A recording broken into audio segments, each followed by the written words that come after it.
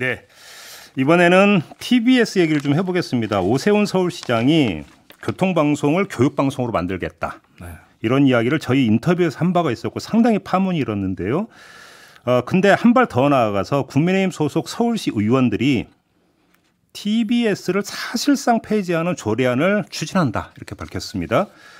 지금 초미의 관심사로 떠오르고 있는데요. 그래서 저희가 스튜디오로 이강택 TBS 대표를 직접 모셨습니다. 어떤 입장인지 들어보도록 하겠습니다. 어서 오세요. 네, 안녕하십니까. 네, 안녕하세요, 대표님. 네. 오세훈 시장의 어떤 방침보다 지금 소개 말씀드린 거 한 걸음 더 나간 것 같은데요. 그렇습니다. 그러니까 지금 국민의힘 소속 서울시 의원들이 이렇게 지금 그 결의를 한 이유를 뭐라고 파악을 하세요? 뭐 그냥 뭐 불편한데 네. 아예 그 없애든지 하여간 최대한 압박을 해보겠다 일단 예. 뭐 이런 뜻 아닐까? 압박 카드로 혹시 보십니까? 예 그리고 뭐 갈 때까지 갈 수도 있다라는 어떤 그런. 어 그러면 실제로 이 조례를 통과시킬 수도 있다고 보시는 거고. 예, 뭐 가능성도 있다고 생각합니다. 그러니까 당연히 지금 대표님 입장에서는 이런 어떤 움직임 자체가 부당하다고 보시는 거고요. 아, 그럼요. 어떤 점에서 부당하다고 보십니까? 아니 그러니까 저희가 굉장히 당혹스러운 게 예. 작년까지는 그 지금 여당 국회의원들께서. 음. TBS는 왜 니네 교통 컨텐츠만 얘기하지 왜 다른 거 하느냐 이렇게 사실은 음. 질타를 많이 하셨어요. 네. 그러다 갑자기 올해부터 태도를 바꿔가지고 음. 어 교통 컨텐츠 이제 이건 좀 낡은 거 아니야? out of fashion 아니냐? 그러면서 이제 교육. 개, 교육 으로 네. 개편하라니 이번에는 아예 그냥 니네 자체가 이제는 없어도 되겠어 이렇게 네, 얘기하는 네, 거잖아요. 네, 지금 네. 그렇지 돈 끊을게 이거잖아요. 음. 그러니까 이게 굉장히 저희는 당혹스럽죠. 네. 그러니까 이게 그 굉장히 힘이 있으신 것도 알겠고 뭔가를 해보시려는 것도 알겠는데 음. 그리고 저희에 대해서 상당히 안 좋은 생각 내지는 더 심하게 얘기하면 적이 음. 이런 것들을 가지고 계신 것도 알겠어요. 예. 근데 예. 이게 너무 과잉 아니냐? 음. 어, 그리고 소위 말해서 부당결부를 계속 하고 있는 거 아니야? 예. 금지인데. 예. 뭐, 뭐 그런 생각을 하는 거죠. 그래서 전비 가경이다. 이거 이러다가 어디까지 가는 거예요, 도대체? 음, 오세훈 시장하고 가 있어야 될 거 아니냐. 이제. 뭐 국민의힘 의원들이 오세훈 시장하고 좀 상의를 했다고 보세요, 아니라고 보세요? 일단 상의한 적이 없다고 밝히는 것 같던데. 예, 저는 아마 상의를 안 했을 가능성도 꽤 있다. 어, 아. 그래요? 왜냐하면 예. 그 어떤 조례에 대해서 그래서 폐지 이런 것들의 이니셔티브는 보통 그 집행부 쪽에서 원래 이렇게 먼저 내고 음. 그다음에 이제 안을 내고 시의회가 그것을 심의하고 이제 그래서 동의하고 이런 의결하고 이런 순서로 가는 거잖아요. 예, 예. 그런데 이런 프로세스는 저는 있다는 것도 처음 들어봐요, 사실은. 근데 아무튼 오세훈 시장이 했던 이야기와 지금 국민의힘 그 소속 서울시 의원들이 하려는 이야기의 공통 분모는 뭐냐면 뭐가 되든 그 TBS가 알아서 먹고 살아라. 네. 재정적으로 독립해야 되는 건 이 부분이잖아요. 이건 네네. 어떻게 받아들이세요? 어, 비유해서 말씀드리자면 예. 음, 그 보육원에서 지금 이제 보육을 그 청소년이 있는데 아직 그 혼자 먹고 살 수 있는 어떤 기반이 조성이 안 돼 있을 경우에는 뭐 기능도 가리키고 뭐 재원도 좀 마련해 주고 이렇게 갖고 내보내잖아요. 보통 예, 그렇게. 예, 예, 예. 근데 갑자기 마음에 안 든다고 말 안 들었다고 그냥 확 중간에 추방하는 거하고 똑같다. 지원 다 끊어면 알아서 먹고 살아라. 그렇죠. 그러니까 그거, 실제로는 예. 뭐 독립이라는 이름 하에서 음. 실제로는 추방이다. 이거는. 1년의 유예 기간 둔다라는 건 어떻게 보세요? 그거는 무슨 얘기냐면 네. 이 우리 공공기관의 공기업이나 이런데 그 예산은 보통 그 전에 한 8월 정도면 안이 만들어져요. 아, 그래가지고 아, 논의가 그, 시작이 돼요. 그, 렇죠 그렇죠. 그러니까 2년 유예를 하면 내년까지 시간이 있는 거예요. 음. 그런데 이 얘기는 뭐냐면 1년으로 줄였다는 얘기는 올해 올해 이제 한두 달 후에 한 달 후부터는 이제 본격적인 압박이 시작된다라는 얘기를 하는 거죠. 아, 그렇죠. 구체적으로. 아, 1년 유예면은 내년 예산까지만 지원을 하고 내후년부터는 끊어버린다가 돼버리니까. 그렇죠. 그렇게 되는 거고. 올해 올해 시작 올해는 내년 7월까지면은 올해 이미 그 얘기를 한다라는 거죠, 사실. 예. 심리적인 압박은 훨씬 더 강한 거죠. 음.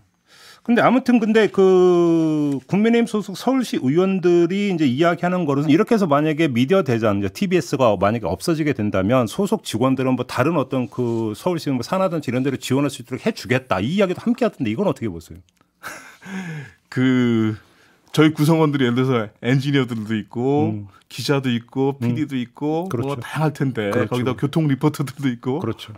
서울 시내에 무슨 다른 출연 기관으로 이전을 한다 그래가지고 그 중에 과연 얼마나 소화가 될 거냐. 음, 음, 음. 그거는 제가 보기에 그냥 뭐 그냥 하는 소리다. 뭐 이렇게 생각되고요. 그냥 그 그냥 대놓고 결국은 타겟은 김어준의 뉴스 공장이 이렇게 보세요. 예. 그건 뭐 명확하죠, 사실은. 뭐 예, 말을 예. 안 해서 그렇지. 예, 예. 그 저는 뭐 검수완박 이렇게 얘기하잖아요.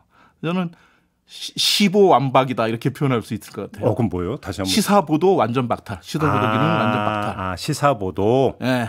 목적이 거기에 있다. 그게 이제 교육 방송화라든지 아니면 재단 폐지라든지 예. 이것에 일관되고 있는 맥락 아니겠습니까? 예. 그래서 제가 이제 뭐 어, 어 한겨레 하고 이제 인터뷰를 할 때 그래서 제가 이건 거의 분, 현대판 분석행위다 이렇게 음. 이제 표현했던 게 바로 그런. 아 거죠. 그런 의미에서 분석행위다. 예. 그러면 시사 보도를 아예 이제 방송 그 편성에서 싹 빼야 된다는 건 절대로 받을 수 없다. 왜냐하면 예. 저희는 이미 종합 편성으로 허가를 받은 거예요. 음. 어? 아, 그 좀 정리 좀 해주세요. 그러니까 많은 분들은 TBS는 교통 전문 채널 아니냐 이렇게 이해하는 분들이 많이 있잖아요. 제가 반, 반문 하나 해볼게요. 예. 지금 CBS가 기독교 음. 방송이죠. 네. 그런데 그냥 뭐 예배 관련된 거나 종교 관련된 것만 방송합니까? 그렇지 않잖아요. 종, 어, 시사, 이미 특수 목적 방송으로 출발했지만 사실은 종합 편성화 된 음, 거예요. 음, 음. 저희도 똑같아요. 음. 교통 기상을 중심으로 한다 하지만 저희 허가 사항이 방송 사항 전반에 관해서 허가를 받았어요. 음, 음. 종합 편성하고 있고 실제로 저희가 라디오 그래서 채널이 라디오는 경쟁력이 2위예요. 채널 점유율이 아시죠? 그리고 아침 저녁 시사 프로그램에는 1등 하고 있는 것도 아시고 그 다음에 저희가 그 재단으로 설립을 받을 때도요. 저희가 음. 방통위 허가를 받은 게 뭐냐면 어 시민 참여형 지역 공영 방송이라는 비전을 가지고서 허가를 받은 거예요. 예. 그래서 저희는 방 지금 방송계에서 공급되지 과소 공급되는 그 어, 지역성 있는 컨텐츠들 뭐 많습니다. 그다음에 기상 우리 기후 위기 관련해 갖고 우리는 아예 정규 편성이 돼 있어요. 음. 뭐 이런 뭐 신박한 벙커라고 이런 다양한 컨텐츠들 하고 있거든요. 예. 그리고 우리 동네 라디오라고 시민들이 직접 만든 것도 저희가 음, 틀고 음, 음. 여러 가지로. 음. 이게 종합 그러니까 그거 우리 실제 근거에서 얘기해 줘야 되는데 그냥 교통 이거 옛날 그냥 명칭과 실제로 구분을 못 하시는 거죠. 그러니까 쉽게 오히려 악의적인 프레임이라고 저는 서울 시민들이 하루 24시간 교통방송이 뭘 방송하고 있나 다 들을 수도 없는 거니까. 그렇죠. 그러니까 이게 결국 프레임 씌우기다 이렇게 보시는 그렇습니다. 겁니까? 예. 어... 악의적이죠. 그리고 지금 그 조례보다 위에 있는 게 법률이잖아요. 예, 그렇습니다. 지금 법률에서는 그러니까 종합 편성할 수 있는 길을 열어줬는데 네. 왜 조례에서 그걸 그러니까 지금 차단하려고 하는 이 문제 제기십니까? 그렇습니다. 예. 그래요? 예. 그럼 이거는 결국 정책 접근이다 이렇게 평가하시는 거고? 그렇습니다. 그 그리고 네. 방통위가 저희한테 허가를 내줄 때 음. 사실은 뭐냐면 자, 자꾸 독립 독립 얘기하시는데 독립성이란 미디어의 독립이라는 건 방송의 독립이라는 건 권력 정치 권력과 자본으로부터의 독립이잖아요. 네, 그렇죠, 그렇죠. 그래서 뭐냐면 시 자치 자치 정부가 음. 그 이른바 팔길이의 원칙이라고 해가지고 지원은 하되 간섭하지 않는다라는 네, 네, 네 원칙을 네. 전제로 해서 네. 저희한테 이런 걸 한번 시민 참여형 공영 방송을 만들어 보시오라고 음. 해갖고 음. 그 어, 재단 허가를 내준 거거든요. 그런데 갑자기 그걸 끊겠다는 거잖아요. 그럼 상업 광고는 지금 못하게 돼 있죠. 예, 못하게 돼 있죠. 그러니까 상업 광고는 못하는데 지, 재정 지원을 끌으면 예, 굶어 죽으라는 얘기죠. 그래요? 예. 아, 근데 실, 그러니까 올해 예산도 지금 55억인가 깎였잖아요. 그렇습니다. 전년도에 비해서. 예. 근데 지금 만약에 이렇게 하면 내년 예산은 더 깎일 가능성이 높다고 봐야 되는 거잖아요. 그렇게 그렇습니다. 그러면 일단 지금 정상적인 방송 운영이 어려워집니까? 당연히 그렇습니다. 내년에? 왜냐하면 재정 의존도가 네. 지금 저희가 그냥 캠페인 광고밖에는 못 판단 말이에요 지금. 음, 네, 네. 그래서 그게 지금 재정 의존도가 70%가 넘어요. 네. 네? 그런데 그게 확 없어진다고 하면 어떻게 살아남겠어요? 혹시 그 대표님 오세훈 시장하고 좀 얘기 좀 진행이 안 돼요? 대화가 안 됩니까?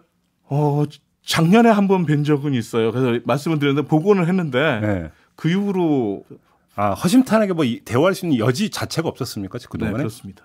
지금 감사 결과 지금 뭐 기관 경고, 기관장 경고 다 받으셨죠. 예, 예.